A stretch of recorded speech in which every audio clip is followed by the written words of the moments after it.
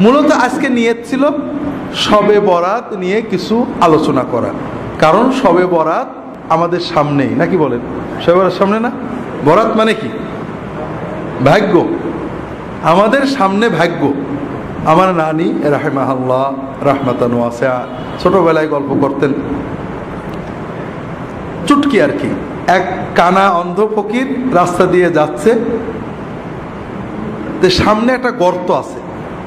তো বাচ্চারা পাশে যে, ফকির ফকির বাবা, সামনে খানা। আমি আজকে মসজিদে বলছিলাম, সামনে খানা। তো ফকির মনে করছে, খানা মানে মেজবানি। বলে, বাবা, বরাত বাবা বরাত। বাবা, ভাগ্যটা আজকে ভালো। এখন ওই বলতে বলতে গর্তের ভিতর পড়ে গেছে বেচারা। আসলে বরাত মানে কি? ভাগ্য। এই ভাগ্য থেকে যত দুর্ভাগ্য। আমরা সবে বরাত সুন্নত, সুন্নতের আলোকে। আমরা ঝগড়া দরকার নেই। কোন হুজুর কি করেছেন? আলহামদুলিল্লাহ, সব হুজুর ভালো। আমরা রসুল্লাহ সাল্লাম কি করেছেন? সাহাবিরা কি করেছেন? এটা আমরা যাচাই করার চেষ্টা করি। আপনাদেরকে গত বছরও হয়তো বলছি, মনে নেই। যেহেতু বছরগুলো প্রসঙ্গ আসে, আমরা সংক্ষেপে হলেও জানতে হবে। আর আমার একটা বই আছে, কোরআন সুন্নার আলোকে সবে বরাত। তাহলে আপনারা নিয়ে যাবেন। যেহেতু সবে বরাত সামনে বইটা নিয়ে যেতে পারেন। এর ভিতরে হাদিস, কোরআন, তফসির, ফোকাহাদের মতামত সবই আছে। মুক্তাসার হলো, প্রথমত আমরা এখানে সুন্নাত শিখতে আসছি, ঠিক না? সুন্নাত নবীজির সব কিছু নবীজি যেভাবে বসতেন সেভাবে বসা কি? যেভাবে হাঁটতেন সেভাবে হাঁটা কি? যে শব্দ ব্যবহার করতেন সেটা ব্যবহার করাও সুন্নত। সবে বরাত শব্দ নবীজি ব্যবহার করেননি। সাহাবিরা করেননি তাবেইনরা করেননি। এটা প্রায় পাঁচশো বছর পরে তৈরি হয়েছে, আমরা আজকে কেন্দ্রীয় মসজিদে আলোচনা করছি। রাসুল্লাহ সাল্লাম যে পরিভাষা ব্যবহার করেছেন, সেটা কি? লাইলাতুন নিসমিন সাবান মধ্য সাবানের রাত। আমরা চেষ্টা করব এই সুন্নতটাকে জিন্দা করার। সবে বরাত না যায়জ না। সবে বরাত বলা না যায়জ না। কিন্তু নেসফে সাবানের রাত বলা, মধ্য সাবানের রাত বলাটা সুন্নত। আমি বললাম, কোরআন হাদিসে সবে বরাত বলে কিছু নেই। কারণ সবে বরাত শব্দ নেই। হয়তো আমি একটু পরেই বলব যে সবে বরাতের রাত্রে আপনারা এই আমল করতে পারেন। আমি আবার সবে বরাত বললাম। তাহলে বোঝা গেল আমার কন্ট্রাডিকশন একবার বলছি, কোরআন হাদিসে নেই। আবার বলছি সবে বরাতে আমল করবেন। আসলে আমরা বলতে যাচ্ছি সবে বরাত পরিভাষাটা ব্যবহার করা কোরআন হাদিসের দিন না। এটা বললে সোহাব হবে, এটা কোনো দিন না। তবে সমাজে প্রচলন হয়ে গেছে, আমরা অনেক সময় নামাজ বলি, অনেক সময় সালাদ বলি।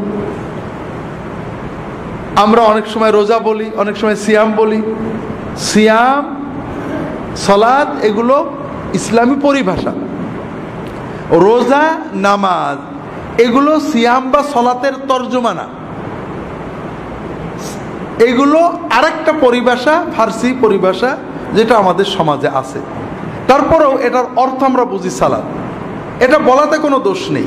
নামাজ বললে রোজা বললে কোনো দোষ হবে না। কারণ আমরা সবাই বুঝি, নামাজ বলতে মুসলমানদের এই সালাদ সিস্টেম বোঝানো হচ্ছে। আবার অনেক বিষয় আছে যেটা আরও দূরে। যেমন আমরা অনেক ঝগড়া করি, আমার বিরুদ্ধে সবারই অভিযোগ। আমি মাঝে মাঝে বলি, কোরআন হাদিসে পীর বলে কিছু নেই। আবার আরেক জায়গায় বলছি, অমক পীর সাহেব, আমাদের পীর সাহেব এটা বলেছেন। এই দেখো আবদুল্লাহ কন্ট্রাডিক্টরে কথা বলে। একবার বলছে, কোরআন হাদিসে পীর বলে কিছু নেই। আর বলছে, আমাদের পীর সাহেব এটা বলেছেন বিষয়টা ওরকম না।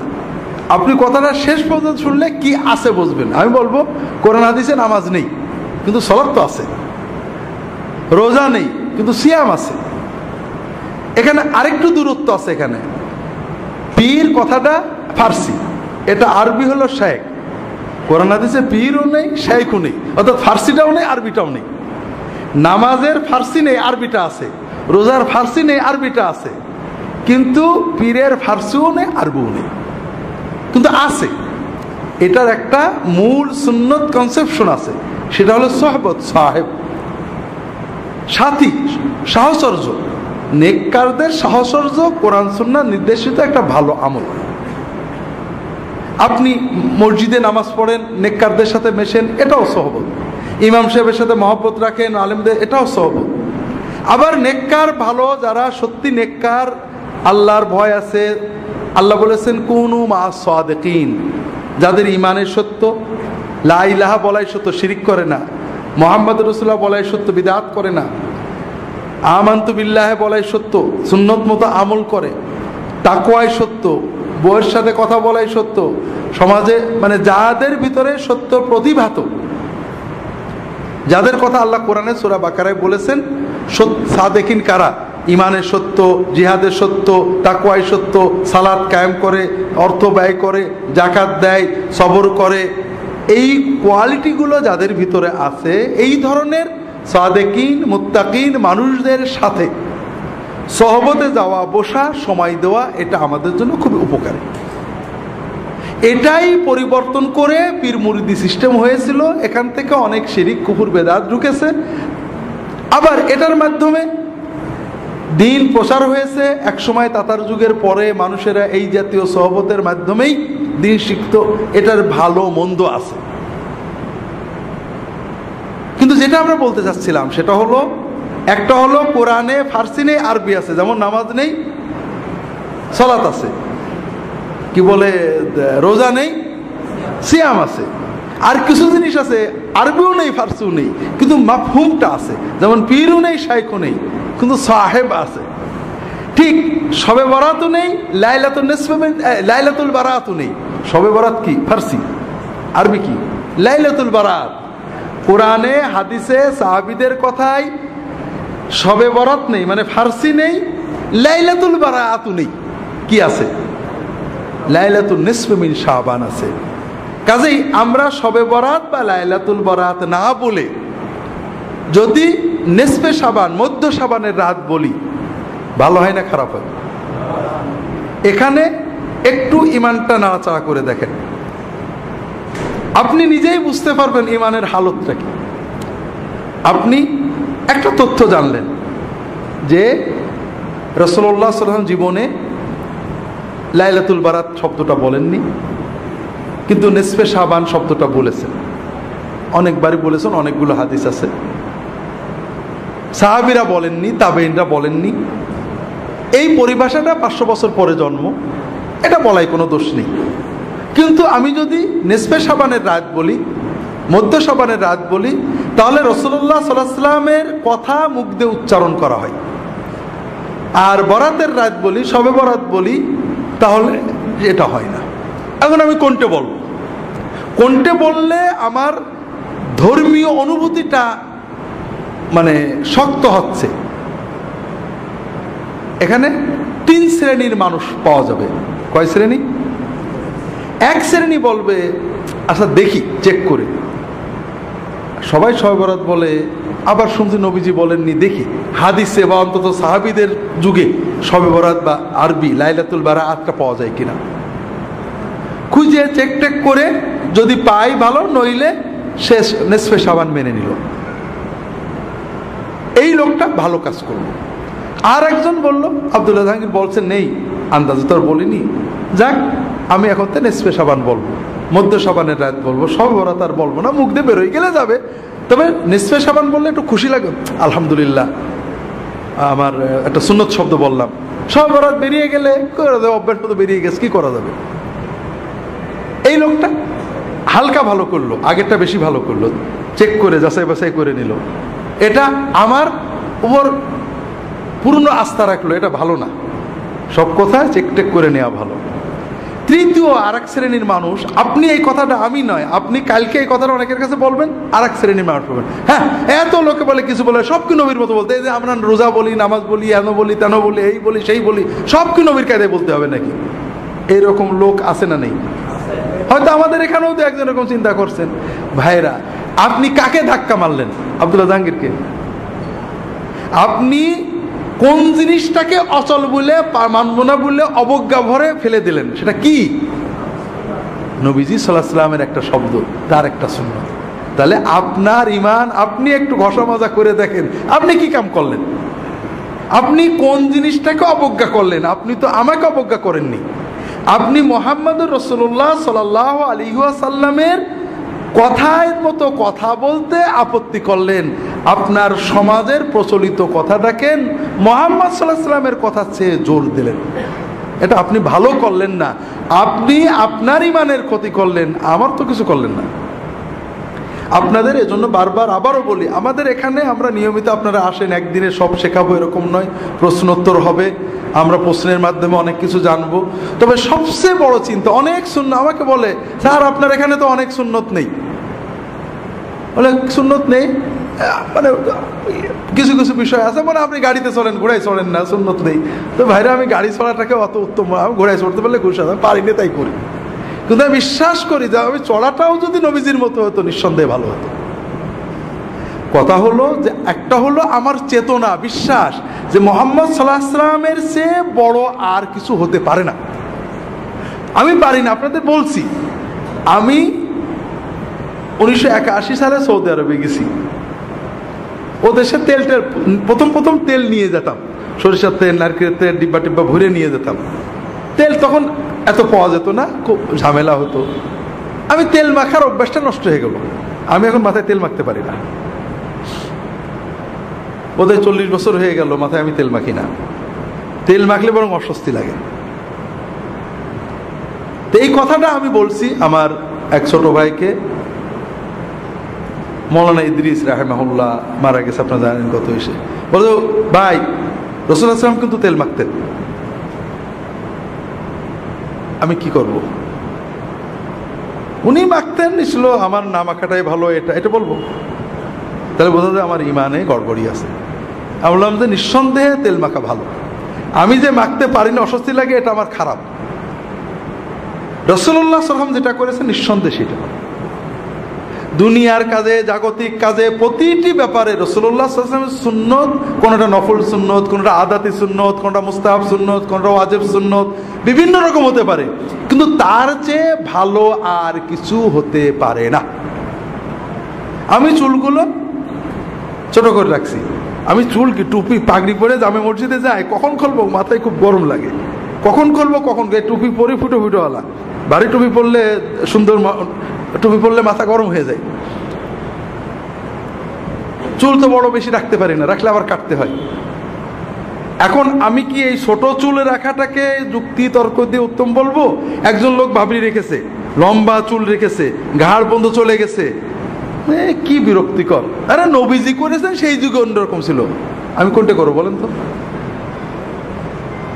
আমি একিন করে বলব, নবীর সাথে যতটুকু মিল আছে ওটা নিঃসন্দেহে বলো কেমন মতো সবার জন্য ভালো।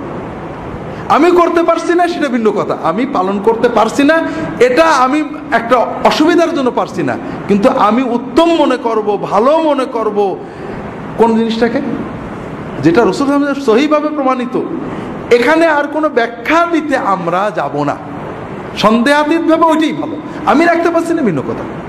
আমি আমার ওজোর আছে, এটা নফল সুন্নত, মুস্তাহাব সুন্নত, আদাতি সুন্নত, অর্থাৎ জাগতিক সুন্নত। রসুল আসলাম তাকিদ দেননি, নির্দেশ দেননি, অথবা গুরুত্ব দেননি। তিনি করেছেন, এটা না করলে গোনা হবে না। কিন্তু আমি যত যুক্তি তর্কই দিই এমন জায়গায় যেন না যাই, যে নবীজিরটা ছোট হয়ে করে ফেলার কায়দায় চলে যায়। এটা হলো সবচেয়ে ভয়ঙ্কর কথা। আমরা কি করি? দুই গ্রুপই একই রকম। কিছু মানুষ আমরা বলি, নবীজি করেননি, তাতেই কাজেই বেদাত। নবীজি করেননি বলেই বেদাত হয় না। নবীজি করেননি কাজে ওটা দিন না, ওটা সুন্নত না। সুন্নতকে দিন মনে করাই নবীজি করেননি সেটাকে দিন মনে করা বেদাত। আবার আর এক গ্রুপ নবীজি করেননি কাজেই জায়েজ। এইটা প্রমাণ করতে যে নবীর সুন্নতকে ছোট মনে করেন। এখানে আমাদের ইমানের সাথে সাংঘর্ষিক হয়ে গেল। কাজে প্রতি ক্ষেত্রে আপনারা যেটা সবসময় লক্ষ্য রাখবেন রসুল্লাহ সাল্লাম থেকে কোন সুন্নত, সেটা ফরজ সুন্নত, মুস্তাহাব সুন্নত, নফল সুন্নত, যাই হোক না কেন, যেটা বর্ণিত হবে, তার বিপরীতে আপনার যুক্তি দেবেন না। আপনি যদি জানেন যে এটা সুন্নত, আলহামদুলিল্লাহ ভাই, নবীর সুন্নত উত্তম, আমি পারছি না, দোয়া করেন জন্য পারি। আর যদি না জানা থাকে, তা কি করবেন? আমি দেখব। কিন্তু নবীজির সুন্নতের বিপরীতে কোনো জিনিসকে আনবেন না, কোনো ক্ষেত্রেই না। তো যাই হোক, প্রথম যে বিষয়টা আমরা আলোচনা করলাম যে লাইলাতুল নিসবেবিন সাবান মধ্য সাবানের রাত, এটা হলো সুন্নত পরিভাষা। আর সবে বরাত, লাইলাতুল বারাত, এটা সুন্নত নয়, এটা পরবর্তী যুগে অনেক পরে, পাঁচশো বছর পরে। প্রথম আপনি রসুল্লাহ সাল্লাম সাহাবি তাবেইন তাবে তাবেইন ইমাম আবু হানিফা, শাফি, মালিক, আহমদ বিন রাহিমাহমুল্লাহ। কারোর যুগে পাবেন না। অনেক পরে এসে এই পরিভাষাটা জন্ম হয়েছে। দ্বিতীয় পর্যায়ে যাই। সুন্নতের ভিতরে নিরাপত্তা। সুন্নতের বাইরে যেটা, এটা বেদাত না হলেও সমস্যা তৈরি করে। যেমন সবে বরাতের ভিতরে। আমরা যখন মধ্য সাবানের রাত, এটা কোনো আলাদা উত্তেজনা তৈরি করে না। কিন্তু যখনই আমি বলব সবে বরাত তখন আমাদের ভিতরে একটা নির্ধারিত কনসেপশন তৈরি হয়, এটা ভাগ্য রজনী এটা মুসলমানদের ভাগ্য রজনী এই যে ধারণা দিচ্ছে, এটাও ঠিক না। সবে বরাত গোনামাপের রজনী। বারাত শব্দের মূল অর্থ ছিল মুক্তি। আরবিতে যে বারাত, আমরা বাংলায় অর্থটা পাল্টে বরাত ভাগ্য হয়ে গেছে। কিন্তু আরবিতে বারাত মানে মুক্তি। সবে বরাতের রাত্রিতে আল্লাহ তালা বান্দাদের গোনা মাফ করেন।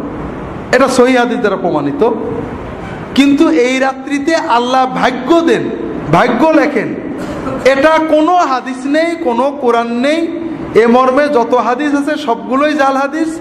তফসিরে দু একটা কথা বলা হয়েছে, কোনো তফসির কারক সমর্থন করেননি। তাহলে মধ্য সাবান বললে যে সুন্নত চেতনা আসে, সবে বরাত বা ভাগ্য রজনী বললে আমাদের ভিতরে যে চিন্তাটা আসে, এটা আসলে ঠিক না। এরকম অনেক ক্ষেত্রে আছে। যেমন, কোরআন হাদিসের পরিভাষা হলো ইমান আর তাবেইনদের যুগ থেকেই, তবে তাবেইনদের যুগ থেকে পরিভাষা হলো আকিদা। ইমান বললে ঝগড়া হয় না। ওর ইমান খারাপ, এ বলে না, ওর আকিদা খারাপ। যদিও তাবে তাবেইনদের যুগ থেকে আকিদা পরিভাষাটা ব্যবহার করা হচ্ছে, তারপরও ইমান পরিভাষার ভিতরে যত প্রশস্ততা, আকিদার ভিতরে তা নেই। তাসাউফ, তাস্কিয়া। রসুল্লাহ সাল্লাম সাহাবি, তাবেইন, তাদের পরিভাষা ছিল তাস্কিয়া, আত্মশুদ্ধি। আমরা বলি তাসাউ তাস্কিয়া শব্দের ভিতরে যত প্রশস্ততা, উদারতা সন্ন্যামুখিতা আছে, তা সব বললে মনে হয় ভিন্ন কোনো একটা বোধহয় শাস্ত্র। এরকম মনে হয়। যে পীর এবং সাহেব সাহেব, পীর। সাহেব বললে সাথী বললে আমার সাথী আমার সাথী। এখানে কিন্তু কোনো অতিভক্তি জন্ম নেয় না। অমুক আমার সাথী। সাথী বলার ভিতরে অতিভক্তির প্রাবল্য আসে না। যখনই পীর বললেন, তখন মনে হলো একটা বিশেষ একটা চেতনা তার দিকে যাচ্ছে। আপনি কি? আমি আবদুল্লাহ জাহাঙ্গীর সাথী। আবদুল্লাহ জাহাঙ্গীর কি? আমার সাথী। এটা খুব সিম্পল কথা। এটার ভিতরে সুন্নত আছে, এটার ভিতরে মহব্বত আছে, কিন্তু অতিভক্তির কিছু নেই। সুন্নতের বাইরে যাওয়ার দরজাটা বন্ধ হয়ে গেছে। আমরা কোনো পরিভাষাকে নাজেজ বলছি না। সুন্নতটা যে ভালো, এটা প্রমাণ করার চেষ্টা করছি। রাগ করেন না আপনারা। কেন, আমি এটা বিশ্বাস করি যে সুন্নত ভালো। কিন্তু যখনই বললেন আবদুল্লাহ জাহাঙ্গীর আমার কি? পীর। পীর বললেই যেন কেমন আর একটু ভক্তি, ভালোবাসার প্লাবন হয়ে যেতে লাগল। যেটা সাথীর ভিতরে ছিল না। আমি ওনার কি? মুরিদ। মুরিদ বলার সঙ্গে সঙ্গেই, আপনি মুরিদ কার? আমার। মুরিদ মানে কি? চাই। আমার যান প্রাণ দিয়ে একজনকেই চাই এই হুজুর। তো হলো নাকি? আপনি কাকে চান? কাকে চান আপনি? হ্যাঁ আপনি আল্লাহকে চান, আমি আপনার সাথী, আল্লাহ পাওয়ার জন্য, আমল শেখার জন্য জজবা আপনি আমার সাথে থাকেন, আর কিছু না। আপনার মুরাদ তো আল্লাহ। আপনি মুরিদ হলেন আল্লাহ। আপনি চাচ্ছেন আল্লাহকে। পরিভাষা তৈরি হয়ে গেছে, হাজার হাজার লক্ষ লক্ষ দিনদার মানুষেরা বলেছেন, সব ঠিক আছে। আমরাও বলি, ব্যবহার করি। কিন্তু আমরা ব্যবহার করে করে এক কোটি মানুষে ব্যবহার করার কারণে মোহাম্মদ সাল্লাহ আসলামের ব্যবহারে সেটা দামি হয়ে যায় কিনা? হবে। একশো কোটি লোকে ব্যবহারের কারণে কি সেটা রসুল্লাহ সাল্লাহ সাল্লাম ব্যবহারে সে দামি হয়ে যাবে কিনা? না। যাই হোক, আমরা লম্বা করব না। সবে বরাতের আমল। সবে বরাতের তিনটে বিষয় বোঝেন। একটা হলো সবে বরাতের রাত্রিতে, অর্থাৎ আবারও বলছি সবে বরাত বলছি, আপনারা রাগ করেন না। নেসফে সাবানের রাত্রিতে, মধ্য সাবানের রাত্রিতে আল্লাহ তালা বান্দাদের গোনা মাফ করে এটা সইয়াদিস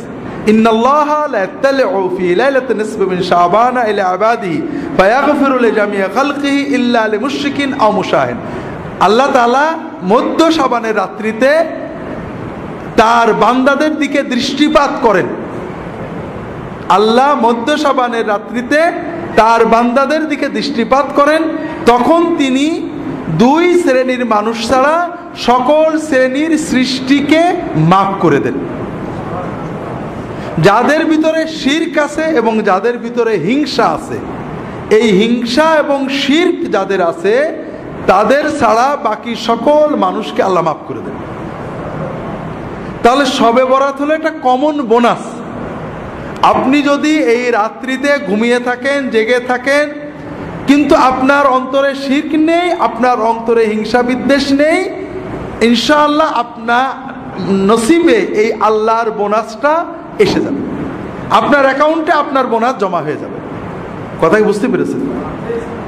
এখন দ্বিতীয় বিষয় হলো, আমরা কি করব? আমরা আমল করব কিনা? আমল না করলে ঘুমিয়ে থাকলেও আপনি বোনাস পাবেন।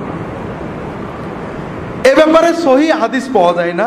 কিছু জয়ীফ হাদিস আছে, দুটো আমল পাওয়া যায়, জয়ীফ হাদিস দ্বারা। বা তিনটে আমল পাওয়া যায়, একটা হলো কবর জিয়ারত আর একটা হলো দোয়া আর একটা হলো সালাদ এই বিষয়ে যতগুলো হাদিস আছে সবই জয়ী তবে যেহেতু এই রাত্রের ফজিলত সহি, এই রাত্রে কেউ যদি অন্যান্য রাতেও তাহাজত পড়ে, এই রাত্রে একটু কিছু বেশি পড়েছে। অন্যান্য রাত্রেও দোয়া করে, এই রাত্রে বেশি করেছে। এটা অনেক আলেমই মুস্তাহাব, জায়েজ, বৈধ সুন্নতের ভিতরে থাকবে বলে মত প্রকাশ করেছেন। আমরাও মনে করি, যদি কেউ ব্যক্তিগতভাবে এই রাত্রিতে দোয়া করেন, এই রাত্রিতে আল্লাহর কাছে দোয়া করেন বা সাধারণ তাহাজত পড়েন কেমুল্লাইল করেন এটা না জায়েজ হবে না, ইনশাআল্লাহ বেদাত হবে না। তিনটে কারণে। একটা হলো, সুন্নত দ্বারা ফজিলত প্রমাণিত। এখানে জয়ীফ হাদিস দিয়ে কেউ আমল করলে এটা সরাসরি বেদাত বলা ঠিক না। তাবেইদের যুগ থেকে কোনো কোনো তাবেই এই রাত্রে এবাদত করেছেন। তবে এই রাত্রিতে এবাদত মসজিদে যেয়ে করা, সমবেত করা, এটা সকল ইমাম হানাফি সাফি মালিকে আম্বলি সবাই বেদাত বলেছেন, মাকরু বলেছেন। এটা নিয়ে কোনো মতভেদ নেই। এই রাত্রি এবাদতের জন্য মসজিদে যাওয়া, দলবদ্ধ হওয়া, সুন্নত এবাদতও দলবদ্ধ হয়ে করা, এটা বেদাত বলা হয়েছে এবং মাকরু বলা হয়েছে আনাবি বেকার সব কেতাবই পাবে তৃতীয় হলো, এই রাত্রিতে ভাগ্য লেখা হয়, এই মর্মে যত কথা আছে সবই জাল কথা। চতুর্থ হলো, এই রাতের পরের দিনে রোজা রাখা। আমাদের সমাজে প্রচলন আছে, এই লাইলাতুল নিসমেমিন শাবানের পরের দিনে রোজা রাখার ব্যাপারে দুটো হাদিস আছে, দুটোই জাল পর্যায়ের। তবে সবে বরাতে রসলাম বেশি রোজা রাখতেন, এক তারিখ থেকে পনেরো তারিখ পর্যন্ত রোজা রাখতেন। আর তেরো, চোদ্দ, পনেরো রোজা রাখা তো নিয়মিতই সুন্নত। কাজেই যারা রোজা রাখতে চান, তেরো, চোদ্দ, পনেরো রাখবেন। সব মাসেই রাখার চেষ্টা করবেন। সাবানে যেহেতু রসলাম বেশি রাখতেন, আপনারা রাখতে পারেন। মধ্য সাবানের রাত বা সবে বরাত বিষয়ে শেষ কথাটা বাদ রয়ে গিয়েছিল। সেটা হলো, আমরা বুঝলাম রাতটার সুন্নত নাম হলো মধ্য সাবানের রাত, আর এই রাত্রি হলো আল্লাহ তালা বান্দাদের মাফ করেন। এই রাত্রিতে নেক আমল করার ব্যাপারে কোনো সহি হাদিস পাওয়া যায় না। আল্লাহর মাগফেরাতের সহি হাদিস আছে। তবে দোয়া করা, সালাত আদায় করা, কবর জিয়ারত করা, এ সকল বিষয়ে জয়ীফ হাদিস আছে। কেউ যদি এগুলো ব্যক্তিগত আমল করেন, এটা সন্না বিরোধী নয়। তবে এই রাত্রিতে রুটি খাওয়া, উৎসব করা, বাতি জ্বালানো, এরপরে মসজিদে সমবেত হয়ে এবাদত বন্দিগি করা, এগুলো বিদাত এবং প্রায় ফেখার সকল কেতাবে আনাফি মাজাব সাফি মাজাব বিভিন্ন কেতাবে বারবারই এই ধরনের কাজগুলোকে বেদাত বা মাকরু লেখা হয়েছে। মাকরু তাহারিমি লেখা হয়েছে। এখানে একটা বিষয় খুবই জরুরি। সেটা হলো, আমরা রসুল্লাহ সাল্লাম এবং সাহাবিদের জীবনে সবে বরাতের সাহাবিদে আব্বকর ওমর, ওসমান, আলী রদুল্লাহ আনবাজমাইন খোলাফের রাশেদিনের যুগে দেখেন সবে বরাতের কোনো হদিস পাবেন না। পুরো ইসলামের ইতিহাসে ইবনে কাসির তবারি মানে রসুল্লাহ সাল্লামের হিজরত থেকে সাহাবি তাবিনরা মসজিদে সমবেত হয়েছেন, অথবা আবু বকর, ওমর, ওসমান তারা এই রাত পালন করেছেন। এরকম কিছু পাওয়া যায় না। এর একটা বড় কারণ হলো, ইসলাম আমাদেরকে জীবন ঘনিষ্ঠ ধর্ম দেয়, বতুরে না। আমরা সবে বরাতে কি জন্য গুরুত্ব দিই? এই রাত্রিতে আল্লাহ দোয়া কবুল করে। এটাই তো মূল, নাকি বলেন? এটা মূল না? যে আমরা হুজুরা ওয়াজ করেছেন, এই রাত্রে সন্ধ্যা থেকে আল্লাহর পক্ষ থেকে ঘোষণা দেওয়া হয় যে দোয়া করবে, কবুল করবে, এরকম আছে না? এই হাদিসটা জৈব তবে আমরা আশা করি এই রাতে দোয়া কবুল হবে। একাধিক হাদিস রয়েছে। সহি মুসলিম এবং অন্যান্য কেতাবে সহি হাদিস রয়েছে। যে প্রতি রাত্রে প্রতি রাত্রে রাতের যখন প্রথম ওয়ান থার্ড পার হয়ে যায়, রাতের প্রথম এক তৃতীয়াংশ পার হয়ে যায়, তার মানে তিন থেকে চার ঘণ্টা রাত হয়ে যায়। বর্তমান সময়ে আমাদের সন্ধ্যায় সাতটায় ফজরের আজান হয়, ফজরের নামাজই হয় পাঁচটায়, চারটে ফিরে আজান। তিনটে, এই সাতটা আটটা, নয়টা, দশটা, এগারোটা, বারোটা, একটা, দুটো, তিনটে, চারটে। নয় ঘণ্টার রাত। তাহলে ওয়ান থার্ড মানে তিন ঘণ্টা আটটা নয়টা দশটা। রাত তিন, সাড়ে তিন ঘণ্টা। তার মানে দশটা, সাড়ে দশটা। যখন রাত বড় হয়, সন্ধ্যাও আগই। যখন রাতের প্রথম ওয়ান থার্ড পার হয়ে যায়, আল্লাহ তালা সুবাহানা হওয়া তালা প্রথম আসমানে নেমে আসেন। আল্লাহ তালার পক্ষ থেকে ঘোষণা দেওয়া হয় যে কে আসো দোয়া করবে, আমি তার সকল দোয়া কবুল করব।